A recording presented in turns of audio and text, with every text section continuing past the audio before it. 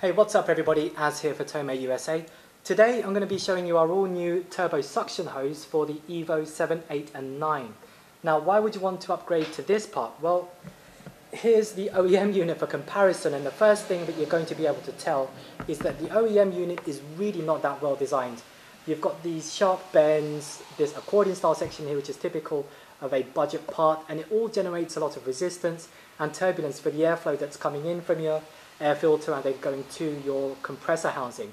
Now the other thing that you're going to notice is that it's made out of this kind of composite rubber silicon plastic uh, which really isn't good. It flexes and this is actually known to choke off a lot of air, especially under load, um, that should be going to your compressor housing. Now, to eliminate those issues, the first thing that we did on our turbo suction hose is that we made sure that the materials were fit enough for the job. So with our one, we use a 4-ply reinforced silicon um, it's infused with fibers and steel rings just to make sure it's got that extra bit of rigidity and it will not flex um, or warp under load, which is a good thing. Now you're also going to notice the much smoother lines helping aid that flow of air to your turbo. And you're also going to see that this section here in particular is much, much wider than the super narrow OEM unit. And that's really because you want to have as much air going to your turbo as possible.